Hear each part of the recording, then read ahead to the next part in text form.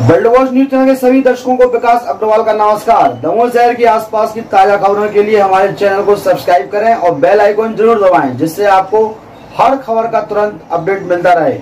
आइए नज़र डालते हैं बड़ी खबर पर।